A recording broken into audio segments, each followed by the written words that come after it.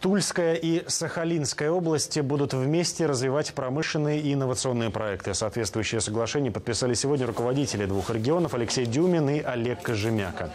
Также документ предполагает поддержку малого и среднего предпринимательства, обмен опытом в культурной и социальной сферах и реализацию молодежных программ. Это рамочное подписание о нашем сотрудничестве. И первые шаги мы рассматриваем э, размещение рыбного завода на территории Тульской области. Приезжает рабочая группа, мы подбираем площадку, которую он обозначил, и начинаем работать.